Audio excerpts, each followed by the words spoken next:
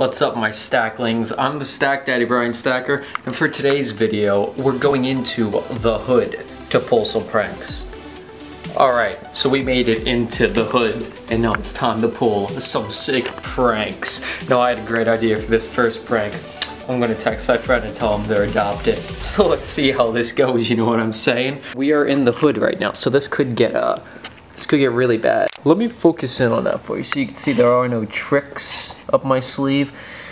Okay, yeah, yeah, yeah. No, no, no, not gonna text my mom and tell her she's adopted. That's not good.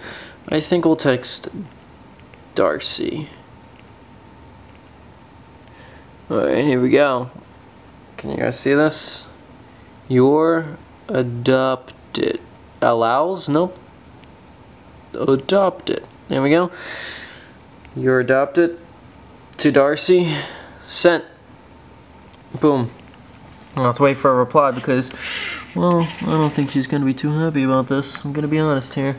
So, uh, since I am in the hood, this could have a dangerous reaction. I'm not sure what's going to happen. So if something bad happens to me. Oh. What? Hold on, hold on, hold on. Dude, you know that I'm seriously adopted, right? That's not funny. You are so mean. Oh. Uh. Uh. Um. Okay, well, turns out that, um, Darcy was actually adopted. So, um.